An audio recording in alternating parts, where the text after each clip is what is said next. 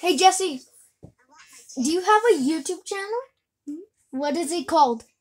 Five Nights at Freddy's. No, it's called Jesse Gonzalez. Um, it's Jesse Gonzalez. And, and if you, if you don't know, if you can't find it, just search up um the epic battle Jesse Gonzalez, and it might be there. So this video is basically about go subscribe to Jesse's um YouTube channel. And yeah, bye.